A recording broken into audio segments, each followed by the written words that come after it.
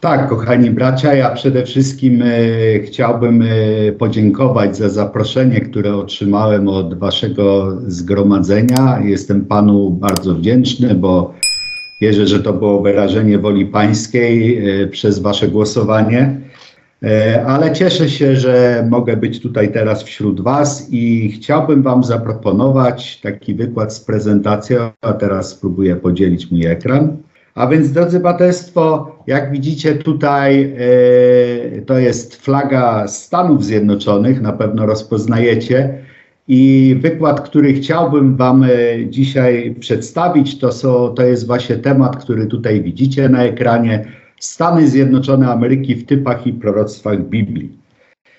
Chciałbym powiedzieć, że, bo to jest też ważne, że ja ten wykład e, wygłosiłem po raz pierwszy w macierzystym zborze w 2009 roku, więc e, myśli, które przygotowałem do tego wykładu na podstawie literatury prawdy, to one oczywiście nie były pobudzone żadnymi tam wydarzeniami, które się pojawiły w ludzie Bożym później, w 2009 roku powiedziałem po raz pierwszy ten wykład, e, więc e, tak jak podkreślam, nie było, nie jest to pobudzone żadnymi wydarzeniami, które później nastąpiły wśród e, braci i sióstr.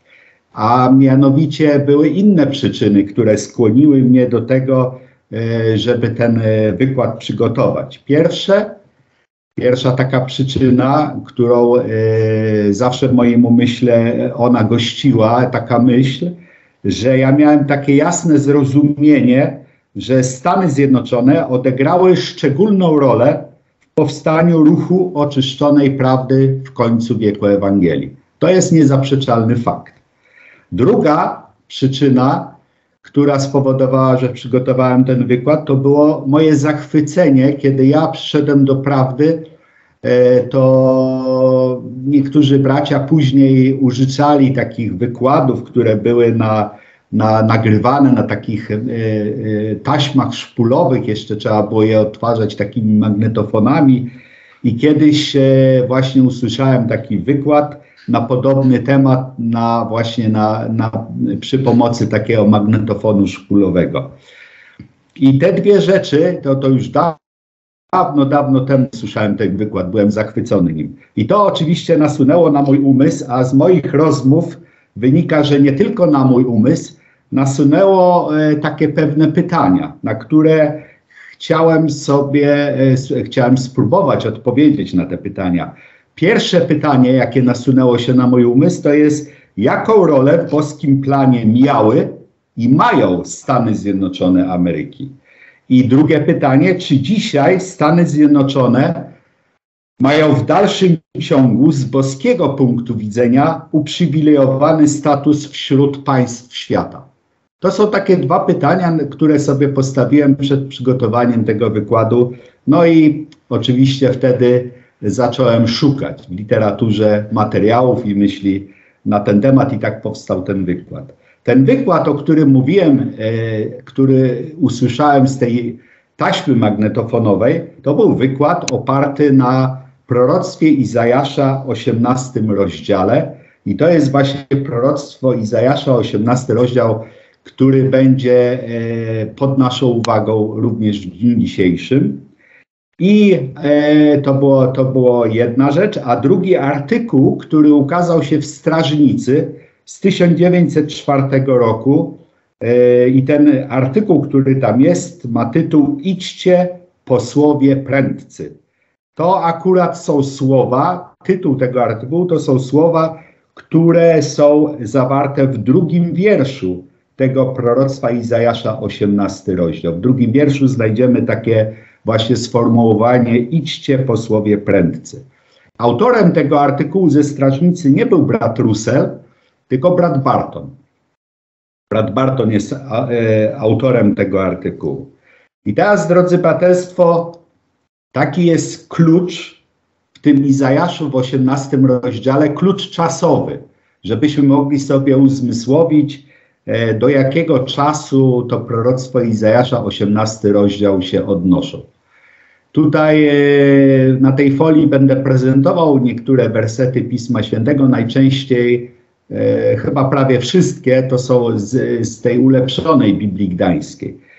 I wiersze e, 3, 3 do 7, e, które są w tym Izajaszu 18 rozdziale, to odnoszą się do dzisiejszych czasów. E, te wiersze od 3 do 7, do dzisiejszych czasów, teraźniejszych czasów. Więc e, wiersze pierwszy i drugi, które będziemy szczególnie rozważać, automatycznie, logicznie rzecz biorąc, również powinny się odnosić do dzisiejszych czasów, w których żyjemy. I tak na przykład w wierszu trzecim, czytamy tutaj, widzimy, jest pokazany tutaj w tej prezentacji, czytamy wszyscy mieszkańcy świata i osiedleńcy ziemi. Zobaczcie, jak sztandar zostanie wzniesiony na górach i usłyszycie, gdy zadmą w trąby. Jest tutaj mowa o trąbie.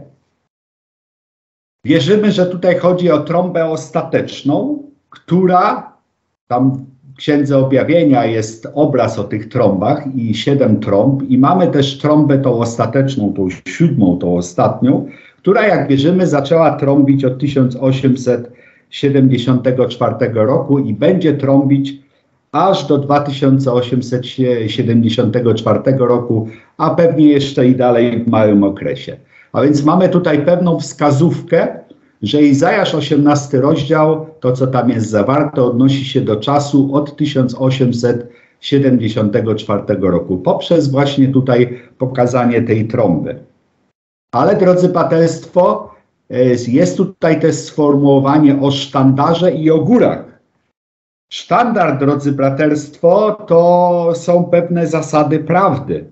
Natomiast góry świadczy o tym, że wszystkie królestwa ziemi usłyszą te zasady, te głoszenie tej prawdy. Wszystkie królestwa ziemi usłyszą kiedy? Gdy zadmą w trąby, czyli od 1874 roku. I my tych wierszy od 3 do 7 nie będziemy omawiać, bo one dotyczą może nie tak bezpośrednio Stanów Zjednoczonych, a nas interesują tutaj Stany Zjednoczone w proroctwie. Ja tylko te przy, powiedziałem tutaj o tych wierszach od 3 do 7, żebyśmy mogli sobie tutaj uzmysłowić, w jakim czasie to się odbywa. I wydaje mi się, że jesteście również teraz podobnej myśli jak ja, że czas e, działania e, antytypu Izajasza 18 rozdział to właśnie jest od 1874. Nas będą interesować wiersze pierwszy i drugi.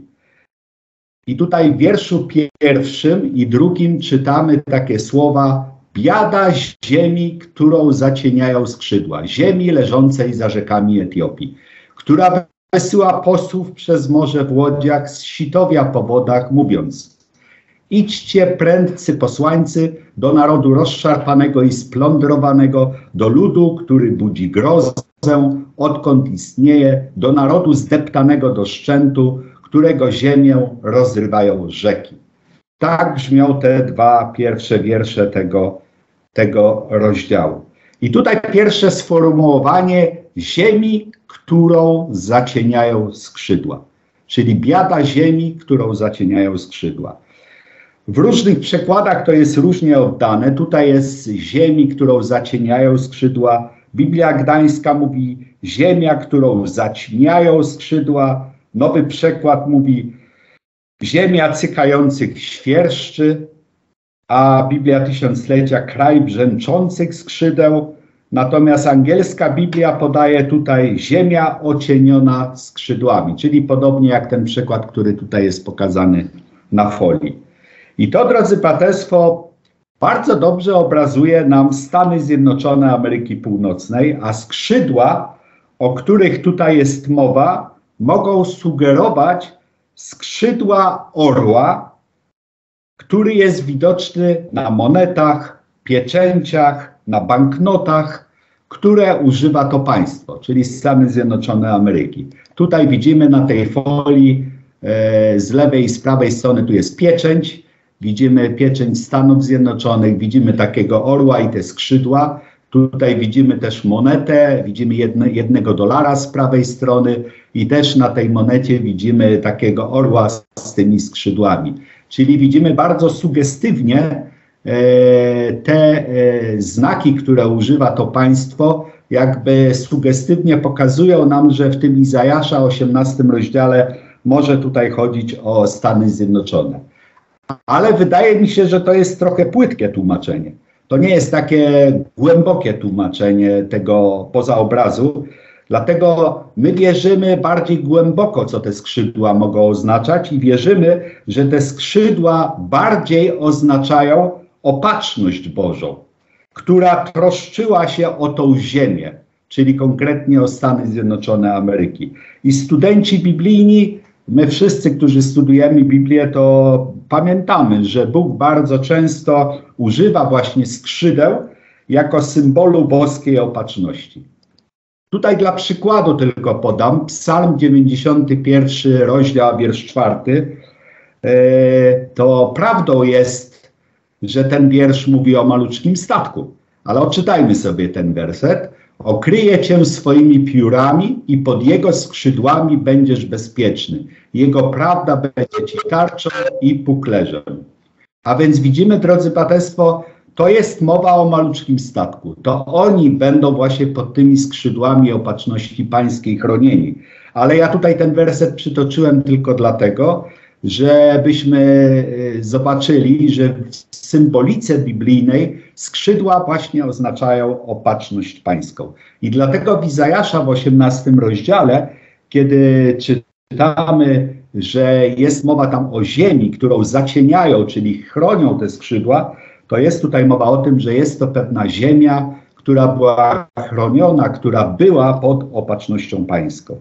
I tak, drodzy braterstwo, jest, że nieraz tak jest w historii różnych państw i narodów, że nawet ziemskie sprawy jakichś narodów są tak nadzorowane przez boską opatrzność, żeby było to w interesie ludu Bożego. I tak właśnie było ze Stanami Zjednoczonymi Ameryki. I spójrzmy krótko na fakty. Ta ziemia, drodzy braterstwo, czyli Stany Zjednoczone, była bardzo długo nieznana dla e, całej cywilizacji, e, która e, istniała do pewnego okresu. Ona pozostawała, ta ziemia ukryta, dopiero później stała się domem dla szybko przepełniających się mas, które żyły w Europie. I drodzy Państwo, zauważmy, tutaj jest globus, gdzie jest pokazana nasza Ziemia i wszystkie kontynenty. Ale ta Ziemia była długo nieznana dla całej cywilizacji, ponieważ była ukryta oficjalnie, powiedzmy tak, do 1492 roku, kiedy Kolumb odkrył Amerykę. My dzisiaj wiemy dokładnie, że już tam wcześniej byli różni ludzie, którzy dotarli do tej ziemi, ale oficjalnie powiedzmy tak, że do 1492 roku ta ziemia, czyli to, co tutaj zaznaczyłem tą czarną ramką, była nieznana dla całej cywilizacji. I drodzy Państwo, e, możemy tutaj zauważyć jeszcze mapę świata według Ptolemeusza, która wydana została w 1474 roku, czyli około niecałe 20 lat przed odkryciem Ameryki przez Kolumba. I tutaj, drodzy Państwo, zauważycie na tej mapie, co zauważamy? Że nie ma tu w ogóle Ameryki. Tak? Widzimy tutaj Europę, widzimy Azję, widzimy Afrykę, ale tutaj w ogóle nie ma Ameryki, bo Ameryka w 1474 roku była dla ówczesnego świata nieznana, czyli była to ziemia ukryta. I co ciekawe, ta ziemia otworzyła się w 1494 roku, e, tak jak powiedziałem, Kolumb odkrył Amerykę i ona się jakby otworzyła, otwarła dokładnie w tym czasie, kiedy rozpoczął się ruch reformacji. Kilka lat później, w 1517 roku, rozpoczął się wielki ruch reformacyjny, kiedy Luther przybił te słynne tezy w kościele w Wittenberdze i zaczęła się reformacja. I ta reformacja zaczęła wzburzać całe nominalne chrześcijaństwo. Studiowanie Biblii e, budziło, że tak powiem, do tej pory uśpione chrześcijańskie sumienia, budziło chrześcijańskie uśpione charaktery do tego, żeby jeszcze bardziej przybliżać się ku Bogu. I Jakieś 100 lat później, czyli w 1620 roku na tym statku Mayflower, jak pamiętamy, na pewno dużo wykładów na ten temat słyszeliśmy, pierwsi osadnicy właśnie wodzący się z ruchu protestanckiego, purytanie, co znaczy dosłownie czyści, to byli pierwsi osadnicy tacy z pobudek chrześcijańskich, którzy pobudzili, e, którzy zostali pobudzeni, aby udać się do Ameryki i tam spróbować swojego szczęścia i e, życia chrześcijańskiego, wolnego od prześladowań, które oni ponosili, żyjąc jeszcze w Europie. Ta pobudzona klasa, tak duchowo pobudzona przez studiowanie Biblii, to była klasa ludzi niebogata. To byli normalni, biedni ludzie, tam bardzo mało było jakichś królów, szlachty, arystokratów. To byli ludzie, którzy nie posiadali żadnych tytułów, e, ale też z drugiej strony to byli ludzie, którzy nie byli tak bardzo zdegradowani i nieświadomi e, proroc biblijnych i tego, co Biblia zawiera, jak reszta całego nominalnego chrześcijaństwa, która wtedy żyła. Oni mieli takie zdrowe biblijne myślenie i to sprowadzało oczywiście w Europie na nich prześladowania. Dlatego oni potrzebowali pewnego schronienia. I to schronienie, drodzy braterstwo, znaleźli w tej ziemi, o której mówi Izajasz 18 rozdział, w ziemi ocienionej skrzydłami, przez skrzydła opatrzności Bożej. Czyli widzimy już z tego względu, Pan Bóg jakby e, tą ziemię odkrył w odpowiednim momencie. Wiedział o tym, że nastąpi ruch reformacyjny, wiedział o tym, że będą prześladowania tych ludzi, którzy będą starali się żyć zgodnie z Biblią, i w tym właśnie czasie, czy to jest przypadek? Ja myślę, że nie w tym właśnie czasie Kolumb odkrywa Amerykę i daje nowe możliwości dla tych ludzi, żeby się w tej ziemi osiedlali. Pomyślność tej ziemi później stała się wielkim zaskoczeniem dla całego świata. Biedacy, można powiedzieć, z wszystkich narodów, później po wielu stuleciach, stali się najbogatszym narodem na ziemi. A zakładali tą ziemię biedacy, biedni którzy byli bogaci w wierze, ale biedni, jeśli chodzi o ziemskie sprawy. Ale później stał się to najbogatszy naród na ziemi. I tak jest do dzisiaj, drodzy braterstwo. Co więcej, wpływ wolności, jaki panował wtedy w Stanach Zjednoczonych, czyli wolność, demokracja, która tam powstała, był potężnym czynnikiem oddziaływania e, w łamaniu kajdan E, właśnie takiej, takiej autokracji, w której żyły do tej pory państwa Europy, ale nie tylko Europy, również na całym świecie. Po prostu ta demokracja, ta wolność, która była w Stanach Zjednoczonych, zarażała inne narody, które żyły w innych państwach. I one po prostu, te idee wolności, demokracji, które właśnie narodziły się w Stanach Zjednoczonych, to one zostały, że tak powiem, eksportowane do innych narodów, do innych krajów, szczególnie w Europie, ale też i w innych krajach świata, ponieważ zauważono, że można żyć inaczej. Stany Zjednoczone to, drodzy braterstwo, pokazały. I dlatego pod wpływem e, przykładów Stanów Zjednoczonych powoli wszystkie kraje dawały swoim obywatelom powszechne prawo wyborcze, co już na początku XX wieku było oczywistością że takie prawo wyborcze e, było zagwarantowane prawie we wszystkich cywilizowanych krajach ówczesnego świata. I teraz, drodzy Państwo, wróćmy do naszego Izajasza. A więc ziemia, którą zacieniają skrzydła, to są Stany Zjednoczone. I mamy takie następne sformułowanie: ziemi leżącej za rzekami Etiopii. Czy to też jest wskazówka, która może nam pokazać, że chodzi tutaj o Stany Zjednoczone? Biblia Gdańska mówi tak, która jest przy rzekach ziemi murzyńskiej. Tak tłumaczy Biblia Gdańska. Nowy przekład, która jest za rzekami Etiopów. A Biblia Tysiąclecia tłumaczy leżących za rzekami Kusz. I to jest to drugie oświadczenie, które charakteryzuje tą ziemię. Drugie oświadczenie tego proroctwa. Tak jak powiedziałem, w czasach starożytnych była mało znana wielkość świata i dlatego w czasach starożytnych na Etiopię mówiono, że to, jest, że to są krańce ziemi, że to już jest koniec ziemi. Krańce ziemi ówcześnie znanej, to e, tak była postrzegana Etiopia. I dla, dla przykładu, zauważmy w Ewangelii Mateusza, w 12 rozdziale, a wierszu 42, czytamy takie słowa. Królowa z południa stanie na sądzie z tym pokoleniem i potępi je, bo przybyła z krańców ziemi, aby słuchać mądrości Salomona, a oto tu ktoś więcej niż Salomon. Czyli widzimy, tutaj jest mowa o królowie Saby, która przybyła skąd? Z krańców ziemi. A drodzy Państwo, wiemy, że ona pochodziła z Etiopii, a Etiopia tutaj jest pokazana jako właśnie krańce ziemi, czyli koniec ziemi, koniec ówczesnego świata. Ona przybyła po to, żeby usłyszeć mądrość Salomona.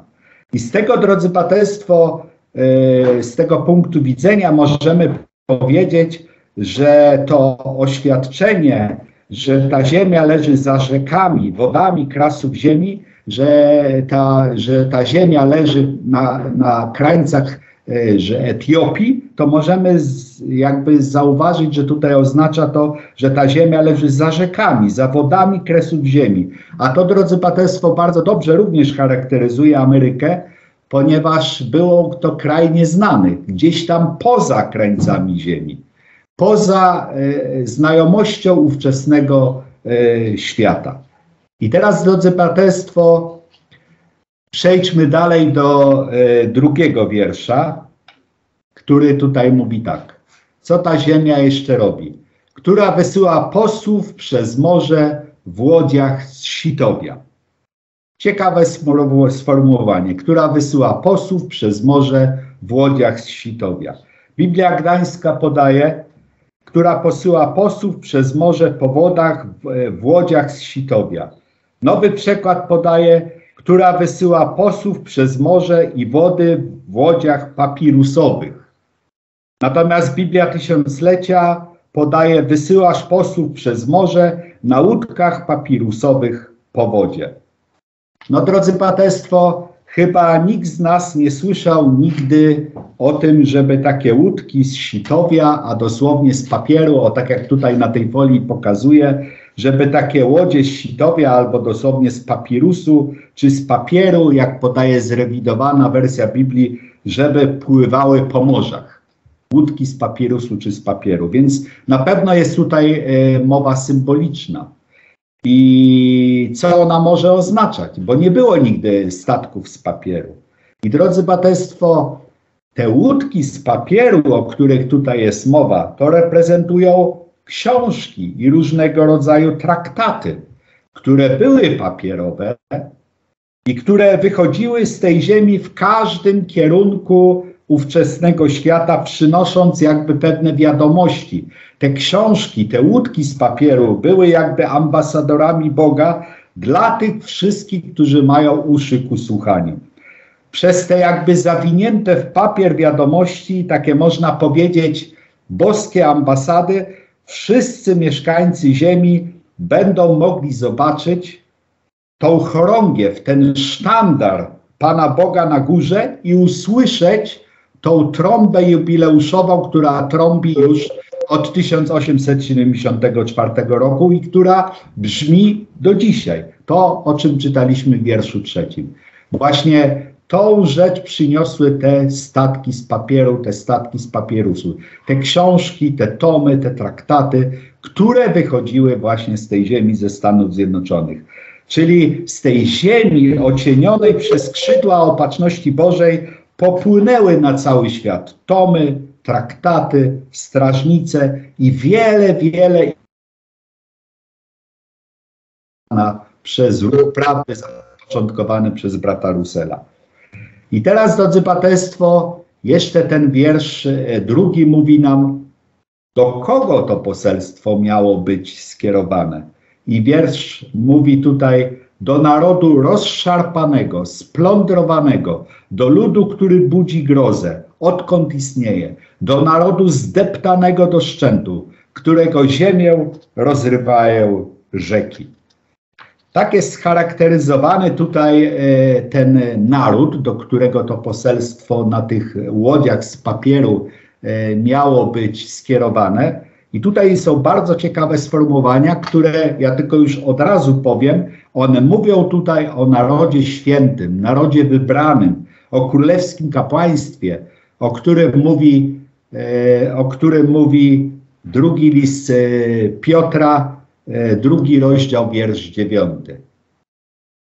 Drugi list, e, pierwszy list Piotra, drugi rozdział, wiersz dziewiąty. Ale wy jesteście rodem wybranym, królewskim kapłaństwem, narodem świętym, ludem nabytym, abyście rozgłaszali cnoty tego, który was powołał z ciemności do cudownej swojej światłości.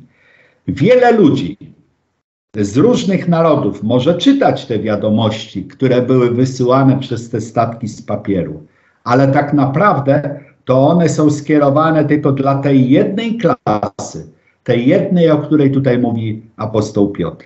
Tylko ta klasa jest w stanie zrozumieć to poselstwo, które jest wysyłane przez te statki z papieru w obecnych czasach.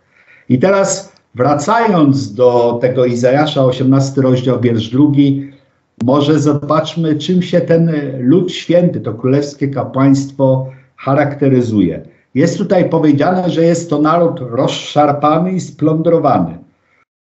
Biblia Warszawska podaje, że to jest inaczej to trochę tłumaczy, nie rozszarpany, tylko splądrowany, tylko tłumaczy rosły, czyli duży, ogromny i z gładką skórą. Kody również to tłumaczą jako rosły i gładki. To, drodzy Państwo, ten rosły, czyli duży, to znaczy, że to jest naród wielki. Naród wielki, nie, nie chodzi tutaj o ilość, bo wiemy, że ich było 144 tysiące w porównaniu do całego rodzaju ludzkiego, to nie jest duża ilość, ale wiemy, że on był wielki, jeśli chodzi właśnie o, swój, o swoje charaktery.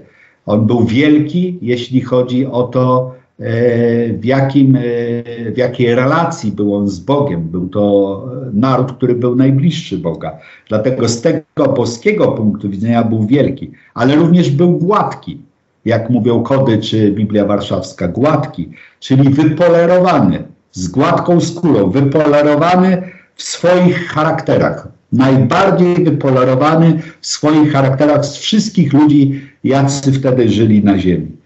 Dalej też jest powiedziane, że był to lud, który budzi grozę, e, który daleko i szeroko budzi grozę, albo jak mówi Biblia Warszawska, albo jak kody tłumaczą, naród, który budzi lęk. Dlaczego jest to naród, który budzi lęk?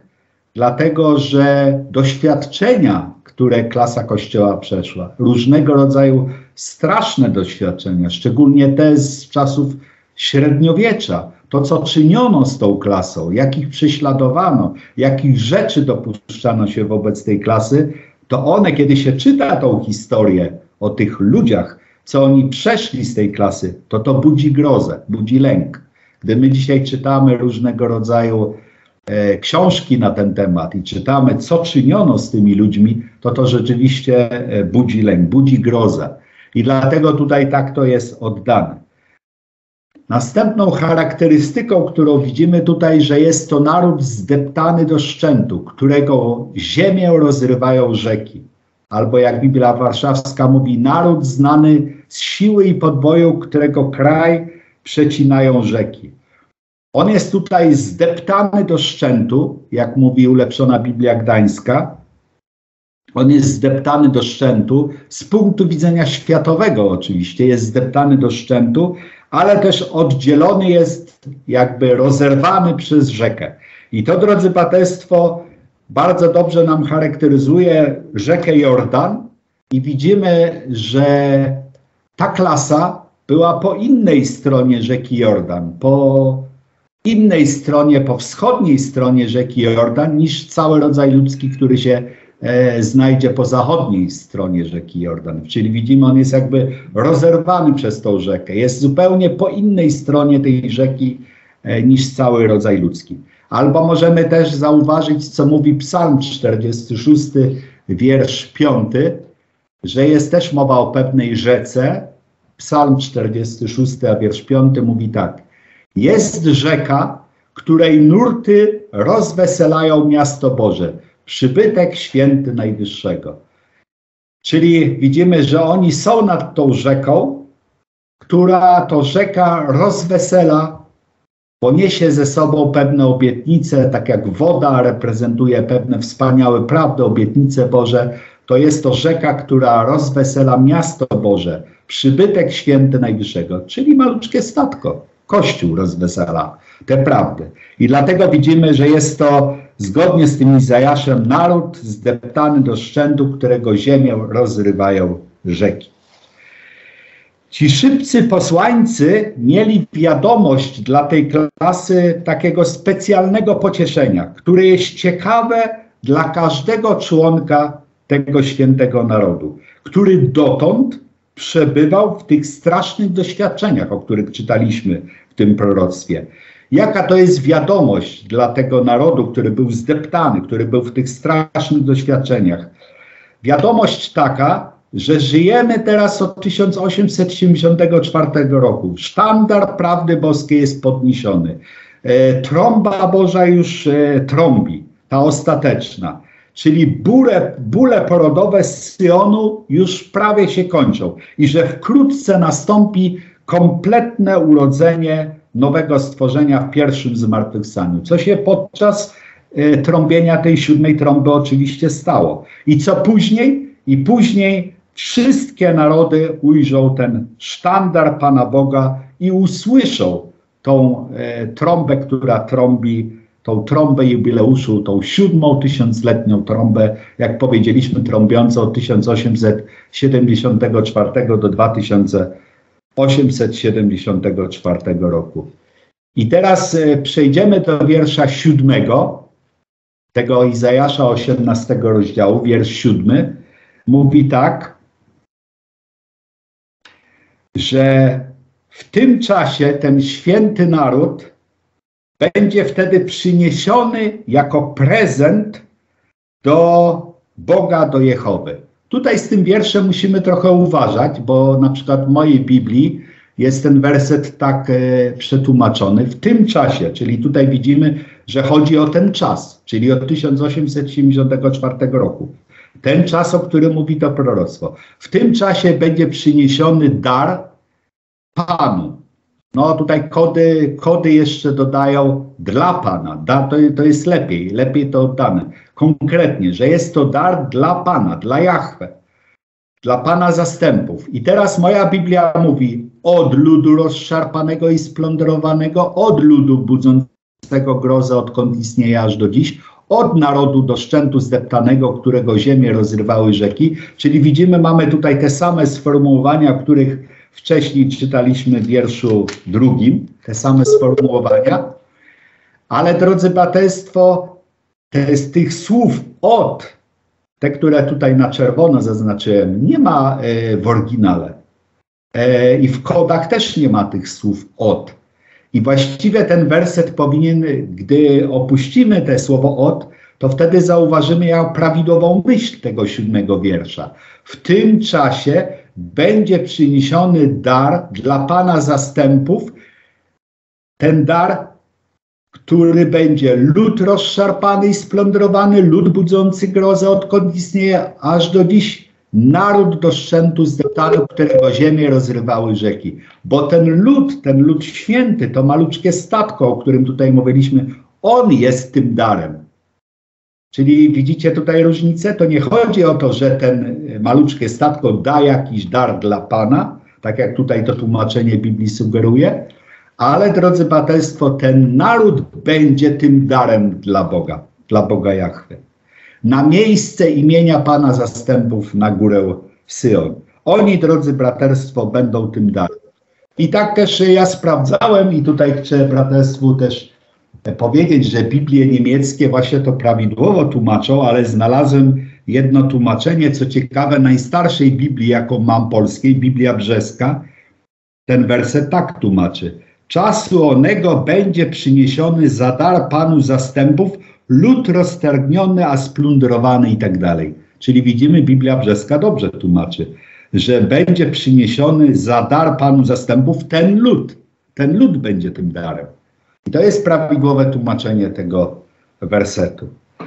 Drodzy Państwo, podsumowując, możemy powiedzieć, że ta piękna praca została wykonana z tej ziemi ocienionej przez skrzydła opatrzności Bożej, czyli od Stanów Zjednoczonych.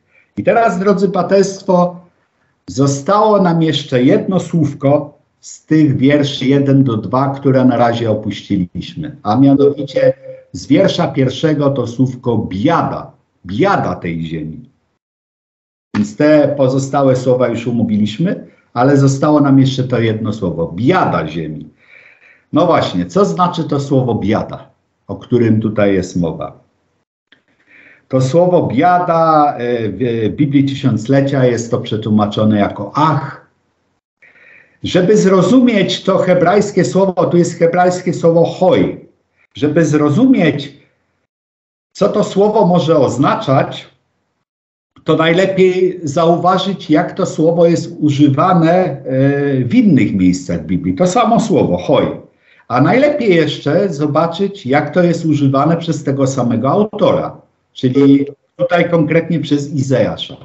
I dlatego, drodzy braterstwo, yy, chciałbym braterstwu już od razu powiedzieć, że Izajasz w swoim proroctwie używa 21 razy to słowo hoj, które tutaj jest przetłumaczone na biada. Ale ja tylko przytoczę kilka wersetów. 21 razy używa, ale ja przytoczę tylko kilka. E, pięć, e, pięć przykładów użycia tego słowa. Izajasz pierwszy rozdział, wiersz czwarty. Biada narodowi grzesznemu, ludowi obciążonemu nieprawością, potomstwu złoczyńców, synom powodujących zepsucie. Opuścili Pana, pobudzili do gniewu świętego Izraela, odwrócili się od Niego. Rozdział 5, wiersze 20 do 22. Biada tym, którzy zło nazywają dobrem, a dobro złem, którzy ciemność używają za światłość, a światłość za ciemność, którzy gorycz uważają za słodycz, a słodycz za gorycz. Biada tym, którzy we własnych oczach uchodzą za mądrych i uważają się za roztropnych. Biada tym, którzy są mocni w piciu wina i dzielni w mieszaniu mocnego napoju. I 45 rozdział, wiersz 9 Ostatni przykład. Biada temu, który się spiera ze swoim stwórcą, będąc skorupą jak inne skorupy gliniane. Czy glina powie swemu garncarzowi, cóż czynisz, a twoje dzieło on nie ma rąk?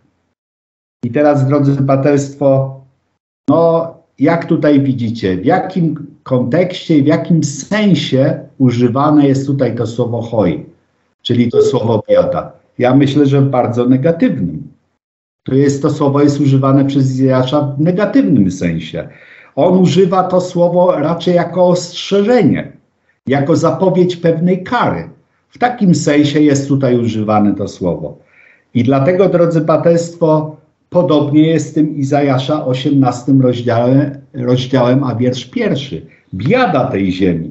I dlatego, drodzy Państwo, nasuwa się takie pytanie. Jeżeli Izajasz mówi biada tej ziemi, która taką piękną pracę wykonała, bo bezsprzecznie wykonała piękną pracę, z tej ziemi wyszła piękna praca, to powstaje pytanie, jaka kara, jaka biada miała dosięgnąć tę ziemię ocienioną do tej pory przez skrzydła opatrzności pańskiej?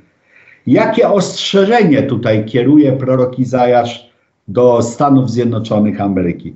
I teraz, drodzy y, braterstwo, aby odpowiedzieć na to pytanie, to trzeba byłoby prześledzić historię tego kraju, tak jak ona jest pokazana w Biblii i w jej typach. I tam znajdziemy, mam nadzieję, odpowiedź na pytanie, czy ten kraj, Stany Zjednoczone, straciły boskie błogosławieństwo, czy raczej je zachowały. A jeśli stracili, to dlaczego stracili to boskie błogosławieństwo? I takich typów w Biblii jest oczywiście więcej, ale ja chciałbym zaproponować historię zapisaną w drugiej księdze Kronik, a 21 i 22 rozdział. Oczywiście nie będziemy tutaj wszystkich tych rozdziałów, wiersz po wierszu, analizować, bo to jest za dużo materiału, żeby to dzisiaj przeanalizować, ale będziemy tutaj właśnie mówić o pewnych rzeczach, które są tam zawarte. A więc druga księga Kronik, 21 i 22 rozdział. I druga księga Kronik, 21 rozdział, a wiersz pierwszy mówi tak. Potem Jehoszafat zasnął ze swoimi ojcami i został pogrzebany z nim w mieście, z nimi w mieście Dawida, a jego syn Joram królował w jego miejsce. Jest tutaj, e, są tutaj wymienieni dwaj królowie judzcy, Jehoszafat i jego syn Joram. I te postaci są, drodzy braterstwo, typiczne. A dlaczego są typiczne? Bo kluczem do zrozumienia typów Biblii jest e, fakt, że jeżeli znamy dokładnie, że jakaś, że jakaś postać biblijna jest typiczna, to brat Johnson nas nauczył w artykule Rozpoznawanie typów Biblii. To brat Johnson nas nauczył, żeby rozpoznawać dobrze typy Biblii, to trzeba też pamiętać o jednej takiej regule, która brzmi w ten sposób, że jeżeli mamy jasne świadectwo Biblii, że jakaś, że jakaś postać biblijna jest typem, to automatycznie wszystkie osoby inne, z którymi ta osoba się styka, lub wydarzenia, które są związane z tą osobą, są też postaciami lub wydarzeniami typicznymi. I kogo mamy tutaj jako taką pewną postać, która jest typiczna? Taką pewną postacią, która jest typiczna, jest Eliasz. Mateusz 11, rozdział wiersz 14 mówi tak, a jeśli chcecie to przyjąć, on jest Eliaszem, który miał przyjść. Tutaj mówi o, o Janie Chrzcicielu, tak, o Janie Chrzcicielu i on mówi, że on jest Eliaszem, czyli Eliasz był jego typem. My wiemy, że Eliasz też e, ma e, podwójne zastosowanie, bo Eliasz, Jan Chrzciciel był jakby tym, który obwieszczał e, przyjście naszego Pana, ale jednocześnie również strofował ówczesny lud Boży, jaki był naród izraelski. I tak samo w drugim znaczeniu, my znamy to, Eliasz jest też typem Kościoła, ale nie całego Kościoła, szczególnie tych członków Kościoła, którzy strofowali ówczesny poza figurami Izrael, czyli nominalne chrześcijaństwo, a jednocześnie obwieszczali wtóre przyjście naszego Pana. Czyli widzimy, Eliasz jest postacią na pewno e, typową, bo nasz Pan o tym mówi bardzo wyraźnie. Objawienie drugi rozdział, wiersz 20, mówi nam z kolei, objawienie drugi rozdział, wiersz 20 mówi tak, ale mam nieco przeciwko Tobie, że kobiecie Jezabel, która nazywa siebie prorokinią, pozwalasz nauczać i zwodzić moje sługi, żeby uprawiali nierząd i jedli ofiary składane bożkom. I tutaj też e, Pan ma coś przeciwko e, nominalnemu chrześcijaństwu, w objawieniu w drugim rozdziale, wierszu 20 i mówi, że pozwalasz kobiecie Jezabel, a przecież Jezabel to żyła kiedyś tam w Starym Testamencie, właśnie za czasów Eliasza ona żyła. I, ona tutaj jest wyraźnie pokazana jako typ po prostu kogoś, kto zwodzi moje sługi, czyli prawdziwych e, członków Kościoła zwodzi i powoduje, że oni stają się nominalni, że odpadają, że uprawiali nierząd, jedli ofiary składane bożko. To jest wszystko symboliczna mowa, tutaj nie będziemy w to wchodzić, ale widzimy, że tutaj e, apostoł Jan w objawieniu, który dostał od e, Boga, wyraźnie używa tutaj symboliki Jezabel na tych wszystkich, którzy właśnie takie rzeczy czynią, które tutaj są opisane. Czyli widzimy, drodzy Państwo, i Eliasz, i Jezabela, Nowy Testament wyraźnie mówi, że to są postacie typiczne, symboliczne. I teraz, a Jezabela jest między innymi tą, która prześladowała Eliasza, jak wiemy. I teraz, drodzy braterstwo, Eliasz miał styczność z królami judzkimi i izraelskimi. Nawet, drodzy braterstwo, w tej drugiej księdze kronik i to już będzie ostatni, ostatnie wersety, które w tej pierwszej części odczytam, bo widzę, że już e, czas pierwszej e, części naszego zebrania się kończy, więc druga księga Kronik, 21 rozdział, wiersze 12, 13, 14 i 15 czytamy tak. Wtedy przyszło do niego pismo od proroka Eliasza tej treści. Tak mówi Pan Bóg Dawida, twego ojca ponieważ nie chodziłeś drogami swego ojca Jehoszafata i drogami Azy, króla Judy. To jest pismo skierowane do Jorama, który jest synem Jehoszafata. ale chodziłeś drogą królów Izraela i tak jak założył dom Ahaba. Ponadto wymordowałeś swoich braci z domu swego ojca, lepszych od ciebie. Oto Pan uderzy wielką plagą twój lud, twoich synów, twoje żony i cały twój majątek. Na ciebie też przyjdzie ciężka choroba, choroba wnętrzności, aż z powodu choroby dzień za dniem będą wypływać twoje wnętrzności. Czyli widzimy nawet tutaj do Jorama jest skierowany list, pismo od proroka Eliasza. Czyli podsumowując tutaj tą, tą, tutaj tą myśl, to zauważamy, wyraźnie Nowy Testament mówi, że Eliasz jest postacią typiczną, symboliczną.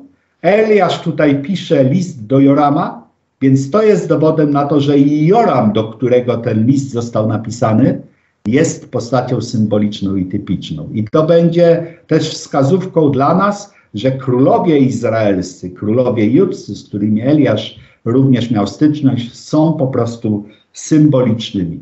I potem w drugiej części, drodzy Braterstwo, przejdziemy dalej, aby zauważyć, jak ta symbolika wygląda. A z tej pierwszej części życzę na razie wielu łaski i błogosławieństw pańskich z tych rozważań.